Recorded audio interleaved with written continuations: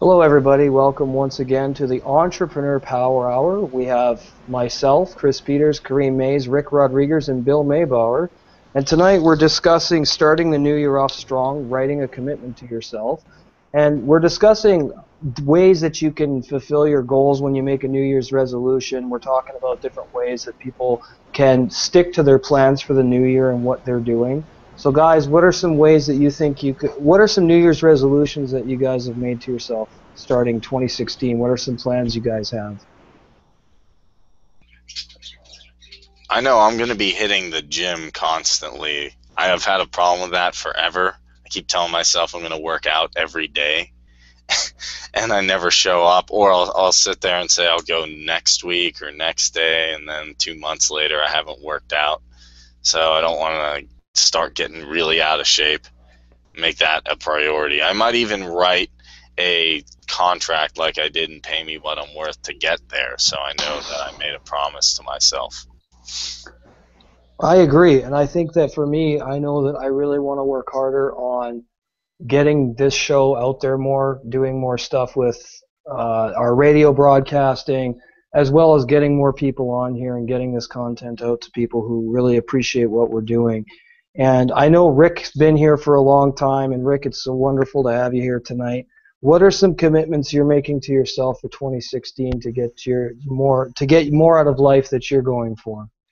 Thanks. I, I appreciate it, you guys and having a place to come and just be myself and stuff like that. And um, my uh, I when I when I was younger, I made uh, like uh, commitments but now like um, I'm 57 years old, and I I sort of am starting to figure some things out for myself, and one of them being that um, the my my first goal would be to to be happier than I've ever been in my life, and uh, I've always been you know pretty happy. It doesn't really matter, but I'm finding out that um, when I come from the happy place, like people say, that whatever I do um, is more effective for me. I don't know about anyone else. Like you know, because I'm trying to create, I'm creating a uh, joyful, abundant um, life and environment. So it's like if I go around, oh crap, you know, this is wrong, that is wrong. It doesn't seem like it would attract joy and abundance right. to me. Right. That's just my take on it. So I'm focusing on real, like basic, basic uh, things, and then once I'm if I'm not happy and going with the flow, I, am not going to do it. Like, uh, now I'm just I'm going to kick back. I'm not going to do it. But when I'm happy and I'm inspired and and I'm and I'm going with the tide or going downstream or whatever you want to call it, mm-hmm. then I then I'm going to start kicking it into action. So right, and because I noticed. Oh, sorry, Chris. Go ahead. No, no. I, I so do you think it's important then to make a commitment to yourself to stay in the most positive vibrational energy you can? Do you think that's very important?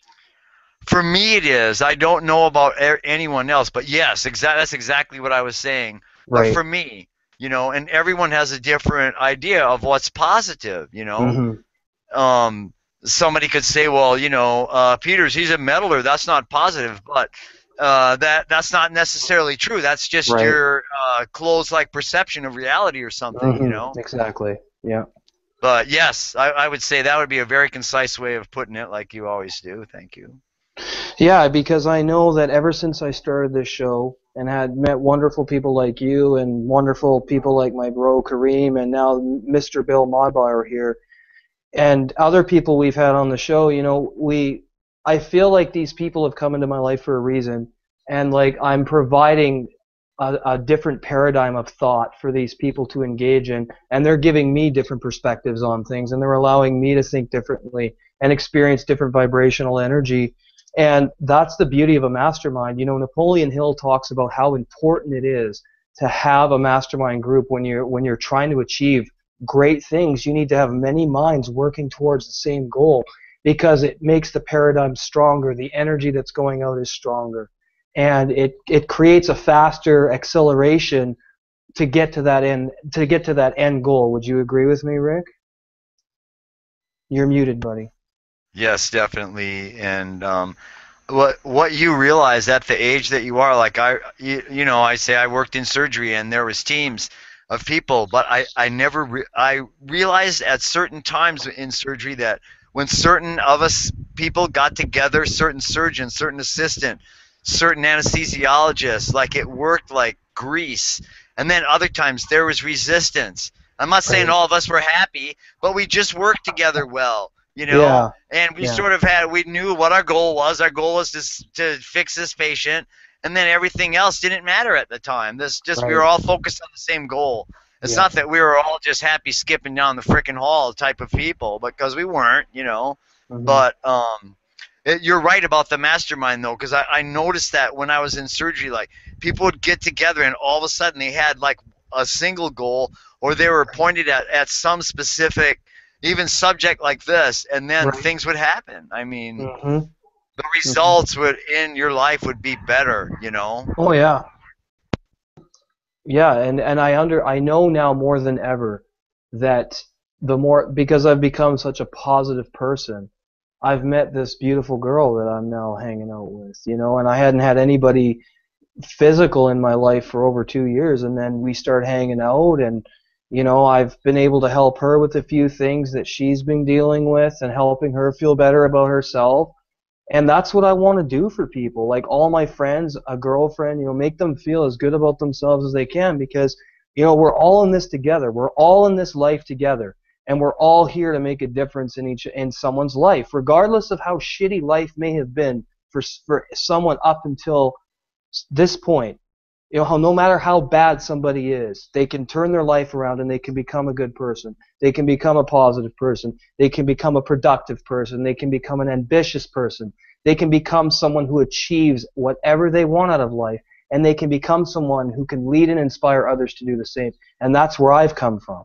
Because I've come through hell and back, and I'm still going, and I'm still reaching my fullest potential. And now I feel like I finally have the people in this mastermind that believe in me. And that that makes me feel so good about what we're doing with the entrepreneur power hour and that we're giving people that value.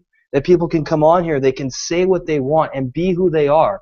They don't have to worry if they're like in a business suit or any of that bs like i say every show you know this is a place where people can just chill and be wh- whoever they are and and say whatever they want. So uh, Kareem, we haven't heard from you yet. What's up, dude?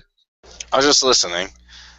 One thing I was thinking about with New Year's resolution is I want to start taking, not that I haven't taken Pay Me What I'm Worth seriously or my other course, but really just kind of dive deep into my personal development, like Yes. start doing it every day. Because Mhm. sometimes there are days that I don't do it, or days that I kind of slack off and I say, like, I don't need to mastermind. I don't really need to do anything. And then I keep doing that for a couple of days, and then I have to get back and start reading personal development again. Mm-hmm. And I can see it actually equating to like working out, where the energy starts to fade. And if I'm not doing personal development on a nearly constant basis, I start to fall off and I start to get bitter or I start to question what I'm doing. Yep. Doesn't help. I, I think it's the equivalent of keeping yourself plugged in. You know, like, you know, you keep a battery going and it gets stronger and stronger and stronger. That's how your mind works. We have to keep our minds connected to and keep ourselves focused on the goal at hand. Because once you start to lose focus on that, it becomes less important.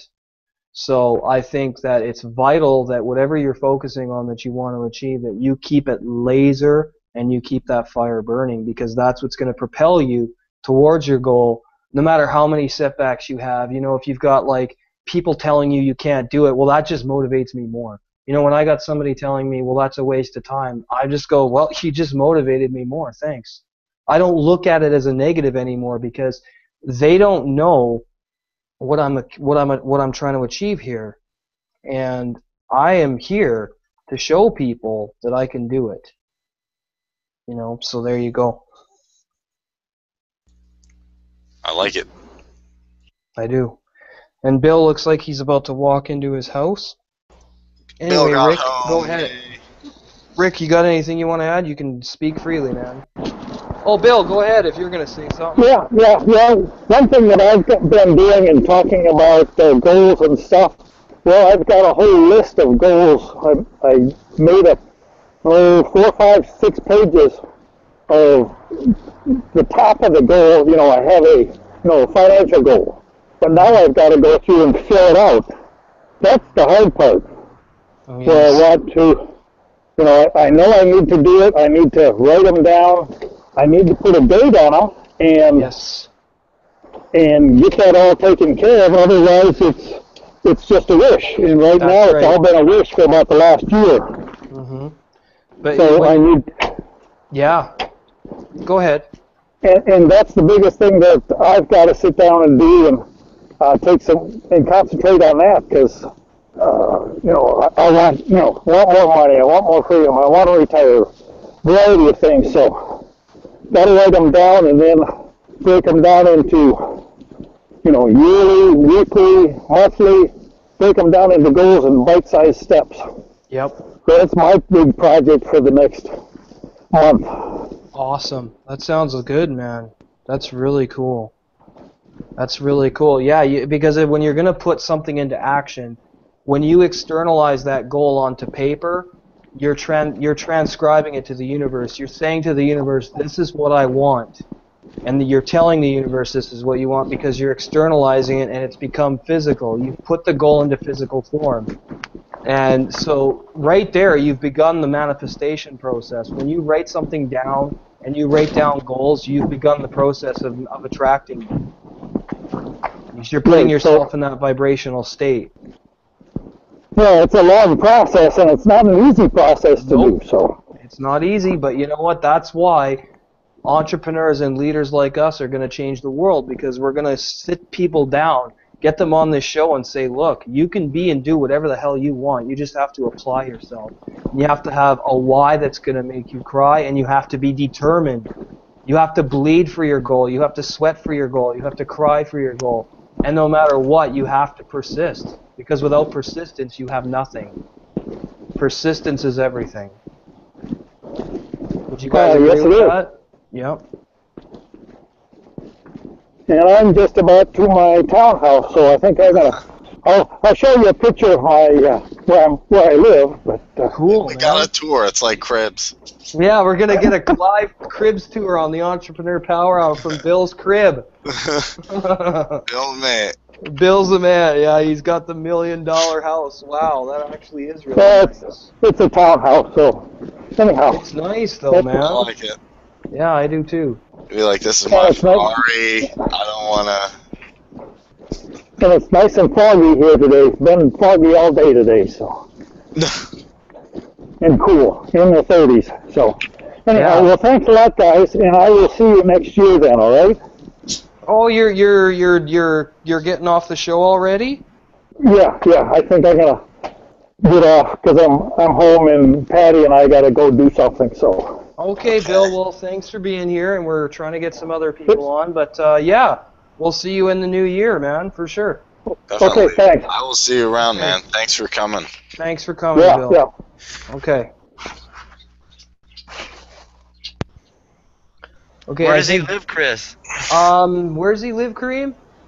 I actually forgot. I have to I think- remember. I think Brian Miller's gonna join us, Kareem. Oh, yay. I, g- I gave him the link. He lives in Olympia, Washington. Olympia, Yay. Washington. Oh, yeah. Creeping on Facebook Live. awesome. no, Where's I- your wife- That's that's public information. Yeah. Where's your wife, Rick? Is she coming? She's no, she's in there getting doing something, wifing around, baking What? bread, and are Very you getting paid what you're worth? me. Yes. I think I think so. Um, if you look at the lifestyle that I lead, and then I, I wrote a PR today on on IBO and uh, IBO Toolbox, and you can look at it by going to rickrodriguez.com. By the way, Oh, and, we will. Um, my friend, uh, he became a multimillionaire uh, when he was 26, and I grew up with him uh, since eighth grade, right? And I'd hook do? up. Yeah, we were in eighth grade together, and, and he was actually almost married my sister, but so I, I guess I gave it away who he was, but I, I maybe I shouldn't have. But anyways, he was a multimillionaire when he was 26 years old, owned all these properties, had all this like piles so of money, he got really. he got. Oh, your mom called Jen. So he got into real estate. Yeah, from his Oh. brothers. He had older brothers. And Right. uh, they were in. His dad was a construction worker, and they started buying these properties, fixing them up, renting them or selling them, turning them over, whatever. When he was like 19, maybe, Okay. and maybe even before that, because um, his uh, his family was always real entrepreneurial, right? right. But I, when I went back to see him, he he still is a multimillionaire, and he still has a real estate company, but he still wants this lifestyle. Oh yeah. Who You know? doesn't?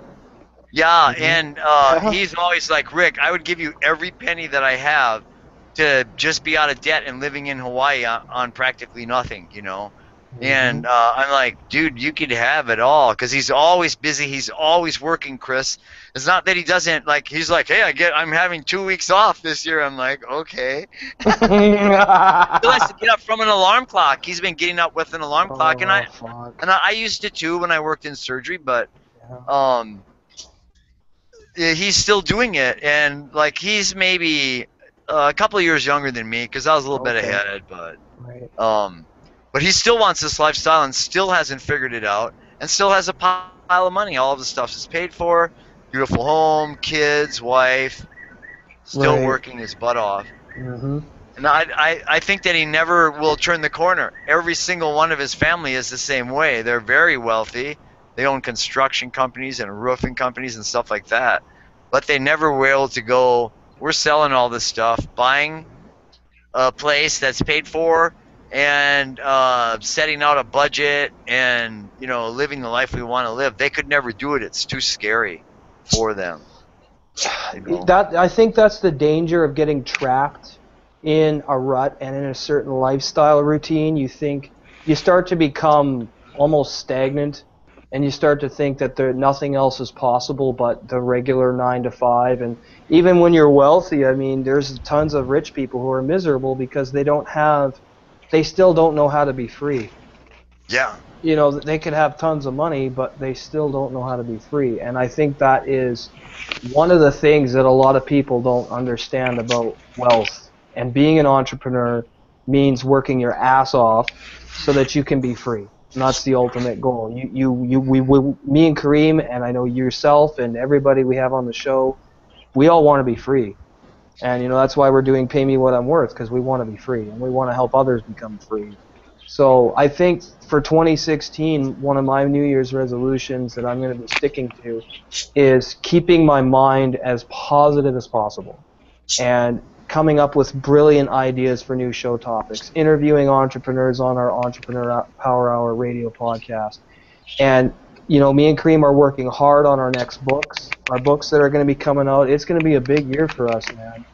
You know, and we're also going to be giving away free memberships to people like yourself, Rick, because you're always here, so you're getting a free membership. And we're giving we're giving away 12 Pay Me What I'm Worth books to people that we think would like to be in the class with us. So we got a lot of big plans coming this year, man. I'm really excited about it. I'm excited for 2016 too. I think the most important thing is you know once you get free, what do you want to do? Because you can get free like your buddy. You can have a million dollar house, you can have a million dollar car, everything paid for, and then sit around and say, I don't know what I want to do. And, mm-hmm. and I know people like that. They, they're good at making money. They are. And some of them were millionaires before they were 30, but they don't exactly know or have a purpose like I could say that I'm gonna play in a band or I'm gonna actually go out there and do public speaking. They don't really have any other hobbies, so it's not just important to get free. It's important to also have some kind of goal. Oh, what do you want to do after everything's all said and done? Are, you, Mhm. are you gonna hang out, or are you going to do something to change the world, or what do you want to do? I don't think there's a wrong answer, but you definitely have to have something in mind. Oh yeah, yeah, you do, because you could have all that freedom, and then you could sit around and go, "Man, I didn't plan this very well. Now what do I want to do?" Because I know for me, one of my goals is to never stop learning, never stop growing, never stop seeking more out of myself and more out of life, because that's what we're here to do, man. We're here to fucking evolve and to grow and to help others do the same because How's how's this planet going to change if we don't raise consciousness? If we don't wa- raise awareness and we don't help people reach divinity within themselves and reach that plane where in, within themselves a potentiality where they can go, holy shit, I literally can make anything I want happen for myself. And they're not held back by limitations anymore. They don't have that limitation consciousness anymore. And like Rick was saying, put it so eloquently, Rick's like, I don't go there. I don't I'm not in that vibrational state. And it's because Rick has had years and years of personal development. Am I right, Rick? yeah. Lots of years of personal development and um, working with people on one-on-one basis and I it took me I think 6 or 7 years to get my first black belt and that was a lot of personal development. It was in taekwondo. I love it. And um, it took several different teachers because I didn't. After a while, I didn't get along with the teacher or something. I didn't like them, or they didn't have the philosophy that I really felt that I wanted to learn from them. So I went through like three teachers to get my first black belt, and then it took me another 10 years to get my black belt in kung fu maybe until I found a teacher but I still trained so when I when I found the teacher that I sort of vibed to then it only took me like a year Mm-hmm. because I had already been training for so long and reading books. And one of the books that really helped me a lot were the Principles of Ki and uh, how to build a life force. It was like a, it's still on the internet. Uh, the Principles of Ki. It's like an old book, and it's like this old Chinese dude wrote it, and all the stuff that would like build up his life force. You know, you've seen awesome. those old movies, you guys. You know, I was Yeah, we obsessed. have. Miyagi, watch Yeah. the dragon. My dad would go to Triple X movies, and I would go to Kung Fu Theater. My dad would go to the like all the stupid ones. Hey kid, you want to go see the skin flicks? He called them. I'm like, no. I went with That's him one awesome, time. Rick. I went with him one time. I was like, this is the worst place ever. Sitting and watching people have sex with your dad. No. And all these like weird, stinky old men sitting around. I'm like, dude, this is not for me Oh, That's and they, they're paying for that, you know. So I, I got obsessed with those old dubbed kung fu movies, and my dad would take me to Milwaukee, Right and on. and like it was a buck, and you could go there all day, right? And my dad would go, okay, I'm only giving you a buck to go in there. I'm like, Dad, but I, I'm gonna be here all day. He's like, pick up a ticket from the last show and walk through the back door and go to the next one. I'm like, Dad, I'll get in trouble. He goes, You won't get in trouble. Don't worry about it. You have your stuff, don't you? My dad was such a stupid that way. So Your that's how I grew up, you know? Okay. And my dad's like, okay, you can drink, you can do drugs, and you can have hookers, but do it at home and share. Otherwise, no Share. go. That's Like it- awesome. Like everyone would come over to my house to drink beer and do whatever they do, right? And my dad would go just like this. Okay, everyone, car keys, car keys, car keys. He'd wait till you pass out probably and be driving your car all night, you know, and and trying to take out your girlfriend or something. So Okay. yeah, he he's gonna play everyone, you know. That's what he did. Wow. But that's sort of the environment I grew up in, and it was tiring after a while. My dad wasn't happy with that sort of manip- external manipulative lifestyle. He's having a lot of fun though. I mean, but Yeah. he wasn't happy. Yeah, but Well, you no, had Mr. because- Miyagi. Go ahead. What's that? On, you had Mr. Miyagi on TV teaching you oh. how Oh. to master the Chi Force. Yeah, and his dad was mastering some other force. yeah, my, my dad, uh, he was good at uh, mastering the chi force too, but he directed at picking up women, gambling, and hustling. yeah. You know, that's just where his point of focus was. He was good at it. I remember one time I, I walked into the bar and my dad's staring at me because uh, my stepmom goes, "Go get your dad. We're grilling out on Saturday." So I go down the street. I go get my dad out of the bar, right, and he's staring at me. And you give, I don't know if it's like this in Canada where you give a dollar and you get the shake of the day. Oh yeah. Well, actually, the the girl I'm seeing used to be a dancer, and um, I saw I saw her dance, and that's I was like crazy about her the minute I saw her, eh?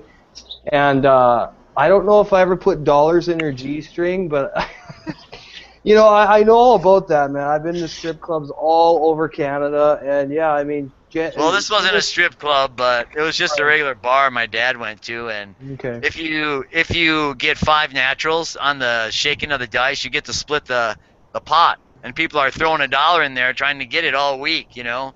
Well, that day the pot was like six hundred dollars, and my dad had already rigged the dice. I thought you were talking about the strip club, Rick. No, it's all right. My dad had already rigged the dice, so I went in there to get him, you know.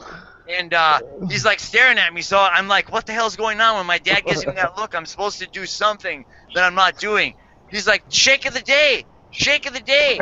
I'm like, "I'll, I'll put the dollar in for you." I'm like, uh, "Something ain't right awesome. about this." He's like out of the side of his mouth, "Don't shake it." You know, so I just he goes, "Flop it." So I know what that means. Just flop it over. You know, because I, I hear my dad all the time. His terminology, just flop it. I flopped it over. It was five sixes. My dad goes, "Winner!" like that, and we got three hundred and some dollars. And my dad goes, "You're splitting it with me because that was my dollar." Wow. like, what the hell? I was so scared. Then I realized, oh my god, my dad was cheating. what was I gonna do? Give him the money back? And I realized awesome, it, bro. you know, when he goes, just flop it. I realized Hey, it right there. rigged I wouldn't have dice. had to, you know, but hey, I, I got some money though. right on, dude.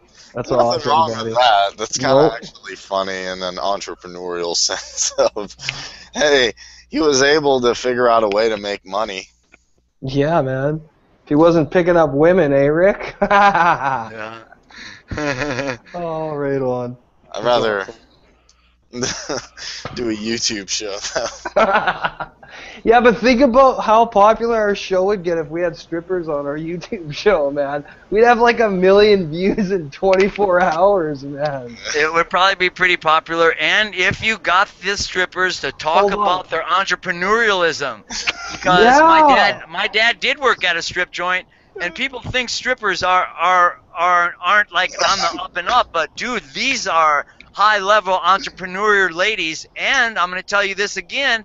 Well, I tell my son-in-law this: if there's strippers and prostitutes in a town, uh, that's a happy town. It is a know. happy town. they Dude. provide okay i've had a lot of strippers and a lot of prostitutes that were my friends and they provide a valuable community service to They do. most communities now there's some that aren't you know on the up and up they try to steal from people and stuff like that but um, i have i had a friend she's gone now that was you know a prostitute for many years and uh, How here long was she? How long was she a street worker, Rick? um i would say 50 years probably. 50 probably years. Yeah, I think she 50 started when she was Wow. 13 here on Oahu. Wow. And Hawaii, she was a small uh, Puerto Rican lady, and I, I met her um, back in the in the 70s here, and she was highly entrepreneurial, and Okay. she was highly um, service orientated. Now, all the people she went over to, she wasn't having sex with them. right. Okay. She'd Okay. go over there and she wasn't taking their money. They might not have money. She might trade food. She might help them clean their house, stuff like that. She don't want you to know that. She wants you to Right. think he's having sex and putting out big. You know, so when you come by, you know, you pay and, and she puts out. But Right. but she she'd have like a whole community of clientele that she was basically being friends with and getting paid That's for. awesome. Almost like a counselor. They're counselors. You know. Jen, uh, Jen just said she'd get her pole out and dance for us on the on. there you go. Wow. that that's therapy too. you know? is therapy. I know, man. She would make us huge in like no time, man. Yeah, Oh, but you know there there are people that don't have that uh, perception, that's and not a bad idea, Jen. My my friends like they all go to strip joints, but because I was raised in one, I Mhm. I never really go to them. That you know, it's not something that I, that I I frequented because I was on the beach all the time. They're half Yeah. naked there anyways. I know. That's You know, I'm and I- jealous. Yeah, I mean, I, I, I would tell my friends, okay, you want to meet girls, just take a surfboard to the beach and just sit. yeah, next to them. man. Yeah, I just got out, dude. Yeah, cheers. Yeah. You know, they don't know the difference. You know, Yeah, exactly. But wow. but you know, I've I, I've had a wonderful life, and I, I'm going to continue to have it. I I would get down the wrong road sometimes where I wasn't having fun and working too hard and and not um you know being happy. But those days are long gone, man. You've been there, Yep. Chris. Oh, of course. Yeah, I have. All of us have. Kareem, Yeah, all of I us have been. still work a good. It's not that bad though, because I actually like what I do, so I can't complain. Yeah, I you don't like mind- do. Yeah, I mean, I don't mind getting up and doing papers either. I mean, it's just when it's cold or I haven't slept enough that I, I just, yeah. Like I didn't go into work today because I wasn't feeling well, and I'm like, you know, I'm just gonna stay home because I had a really bad headache when I went to bed last night, and I, I couldn't sleep right away. And I'm like, you know what, I'm just staying home. So I phoned in and I got someone to cover my route because I just was like, you know what, I'm gonna take a day for myself and just chill. So that's what I did, and then I went out and got this done today, though. This beautiful poster board that I made. So that was a That lot of work. cool. I know, man. cool, man. Fifty bucks. I got went and got it done at Staples, man. Wow, all you would have had to do is take your girlfriend with you. She probably could have got less than that. Oh, she did it, huh? No, she came with me, but there was no Ah. males working, so I couldn't get a Ah. discount if she. Rick. oh man, timing. No, I'm kidding. I'm oh, teasing. Rick's funny. oh, this because she's so hot. I know they probably would have gave us a discount. Yeah, I know. She's cute. I, I I saw her. She's cute. She is cute. I know. Yeah. Thank you. Thank you. No, I mean, because uh, you know there was just chicks working today, so unless they were rug munchers, you know that wouldn't have, that wouldn't have done anything. Wow. Is that what you guys call it? I wonder what that That's was what I call it. My sister calls it batting for the other team. I think that's like a way, way like an old old saying from Wisconsin. Right on. I love it. Oh, it's been a good show, but there's only been three of us here, and nobody Yeah. else showed up yet, man. because I know, and I, and I have to get going. I, I've been told, and so Well, I know people had internet issues, which is unfortunate because I couldn't get them to actually get on because of Mm-hmm. Google Hangouts. I had a couple of people. Even Doug tried to Oh, get on, but uh, I don't know. Sometimes technology isn't friendly. yeah, doesn't want you on there. I don't know why technology wants to see our mugs today, but it does. But you guys, I, I, I appreciated uh, being on this show because what you guys were saying is that was actually brilliant, man. And uh, and if, if we could stay along those lines, I mean, I, I, I need a reminder to stay along those lines too. I mean, yeah, me too. Because I, I, I went to the beach yesterday and surfing. It was so beautiful, and there was all these little rat kids on the inside giving you what we call in here in Hawaii stink eye. You know, they're just looking at you. Oh, you piece of dog doo doo, right? You know, and, uh, and and I'm all happy, man. I'm I'm riding these beautiful waves, and they're all trying to get in your way. You know, so you have to That's go That's because they want to show off to you because you're older, Rick. That's Yeah. why. Well, they you know they, they realize I'm like a great grandpa to them here. Like most How grandpas long? are like, How long have you been surfing, Rick? Like 40 years? yeah. That's awesome, man. Yeah, I started like in my 20s. No, I was like 19 or 18, and I was hooked, man. Without surfing, I'd be screwed. I mean, That's I'm awesome, so passionate about it. Yeah. Keeps me in shape, you know. It keeps does. me going down the beach, Oh, yeah. and, and it keeps Awesome. me like the breathing part and the timing and the balance and all the martial art things. But That's awesome, man. I, I appreciate you guys. Love We you guys. Thank you. you. Too. Love you too, man. Appreciate Aloha. You're- You're taking Rick. off. All right. Yep. Keep talking. Yeah, you guys have given a good show. It doesn't matter who's on there. It's still great content.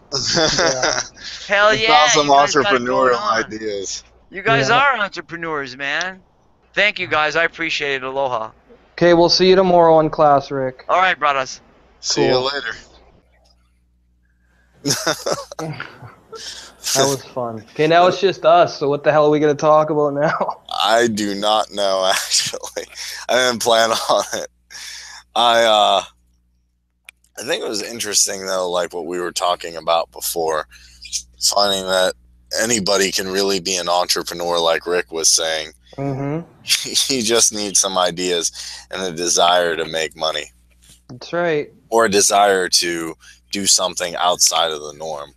Thought, well, yeah, that's that makes a lot of sense because if you're doing something that no one else is doing, that people are going to gravitate to that, like we have with our show. You know, we're doing something that nobody else is doing, obviously, right? No, not that I haven't seen anybody doing this with Google Hangouts or video or anything of the sort. So no, it's pretty unique. The only thing I think that's interesting is you have to have something you're doing that other people can come and enjoy. if it, you're doing something that somebody else really isn't interested in, like if I was just doing an MLM by myself, or which I've done, or if I was doing something else that people really weren't interested in, nobody would gravitate to it. Nobody would want to be a part of it. Right. It's clearly not the case. So you just got to add some value in any way you can. hmm Yeah, and I mean, I know that the more that we do this, the better I feel about it. You know, like I'm excited to come up with new topics and to see who's going to come on the panel and be featured and get their ideas out there and get Yeah. themselves out there, get the exposure they need so that they can start attracting people to them to have a look at whatever they're doing. So, Yeah, I mean, we had full panels a few times, which was awesome. And just like Dada and Freddie, Josh, mhm. just tons of people from different backgrounds.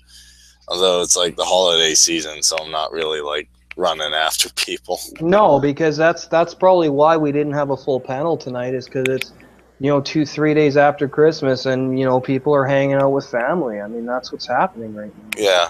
I mean, I even had to like take time and get on here. I'm like, I, I had to make this in my schedule. Otherwise, I wouldn't be able to do it. It's too Right. much stuff. Well, you just got to prioritize a bit better, I guess, bro. it's uh I know I have to be on here and that's the whole thing, but it's not really I have to. I want to be on here and I want to come on and have fun. Yep, And me too. having fun and keep But we started this. It was just me and you, funny Mhm. enough. And then all of a sudden people just showed up. And if I have a slow couple shows here or there, that's fine. I mean, of course, it's fine. it's like the Steelers. They they were doing good, and then they had a bad couple of games. Actually, funny enough, the Seahawks and the Panthers just lost. I know. you can I do know. really well and fall off, and that's a testament. Green Bay was another one that lost this week. Eh, that wasn't that what I didn't see that coming.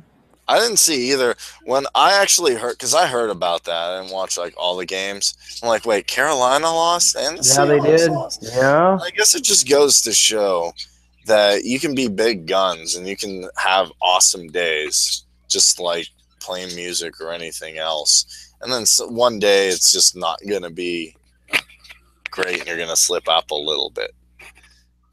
No big deal. Yeah. Because I mean, when, when I didn't expect Seattle to lose to the Rams, and I watched that game, and they were flat for the whole first half, and I was just like, "What the hell's going on?" You know. That was yeah. Anyway. Well, do you want to wrap it up a bit early or what? What do you yeah, think? we can. I can do a call to action and then we could actually uh, hit up the Blues Buster and we have the one dude to, to interview at 9:30. Okay, so in one hour, I got an we got an interview tonight. Then Yes. So okay, he didn't cancel so far, so okay, good. good. Okay, well, I'm gonna spend a bit of time with Jen, and then I'll be home for the interview. Okay. I'm gonna get on the Blues Buster real quick. Okay. But yeah, just have a safe, happy New Year. Don't get attacked by a bear. Don't attack. I'll probably bear. I'll probably be chilling out with you on New Year's. If Jen's gonna be over, but you know we can chat or whatever. I don't know if I'll be home. If I am, I'll let you. Oh, know. you don't know if you'll be home? Okay.